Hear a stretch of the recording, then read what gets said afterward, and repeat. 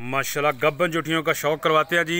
ਖਾਦਮ ਗੋਂਦਲ ਬਾਈ कैसे ਹੋ ਜੀ ਠੀਕ ਠਾਕ ਭਾਈ ਜਾਨ ਜਨਾਬ ਐਡਰੈਸ ਬਤਾਏ ਔਰ ਗੱਬਨ ਜੁਟੀਆਂ ਕਿਸ ਹਿਸਾਬ ਸੇ मिलेंगी ਭਾਈ ਐਡਰੈਸ ਸਾਡਾ ਸ਼ੋਪਰਾ ਬੱਤੀ ਚੌਕ ਹੋਣਾ है फैसलाबाद रोड ਤੇ ਲੱਗਣਾ ਹੈ ਠੀਕ ਹੈ 1 ਕਿਲੋਮੀਟਰ ਤੇ ਰਾਈਆਂ ਵਾਲੀ ਪੁਲੀ ਆਉਂਦੀ ਹੈ ਰਾਈਆਂ ਵਾਲੀ ਪੁਲੀ ਦੇ ਨਾਲ ਹੀ ਪੈਪਾਂ ਵਾਲਾ ਬਾਜ਼ਾਰ ਹੈ ਮੇਨ ਨਿਸ਼ਾਨੀ ਟਾਵਰ ਇਹ ਝੋਟੀਆਂ ਨੇ 550 ਰੁਪਏ ਕਿਲੋ ਦੇਣੇ ਪਿਆ ਤੋਲ ਕੇ ਠੀਕ ਹੈ ਕੋਈ 3 ਮਹੀਨੇ ਦੀ ਕੋਈ 4 ਦੀ ਕੋਈ 5 ਦੀ ਠੀਕ ਹੈ ਠੀਕ ਹੈ ਡਾਕਟਰ ਆਪਣਾ ਨਾਲ ਲੈ ਕੇ ਆਉਣਾ ਪਾਸ ਕਰਾ ਕੇ ਲਿਜਾਓ ਗਰੰਟੀ ਸ਼ੁਦਾ ਝੋਟੀਆਂ ਸੀ ਦਿੰਨੇ ਆ ਇਹ ਜਿਹੜੀ ਇਸ ਟਾਈਮ ਮਿਣੀ ਹੈ ਜੀ ਇਹ ਕਿੰਨੇ ਮਹੀਨੇ ਵਾਲੀ ਹੈ ਇਹ 4.5 ਮਹੀਨੇ ਦੀ ਨੰਬਰ ਬੋਲੇ ਆਪਣਾ 0343 4210 761 ਬੋਲ ਕੇ ਵਾਇਸ ਮੈਸੇਜ ਕਰਨਾ ਠੀਕ ਹੋ ਗਿਆ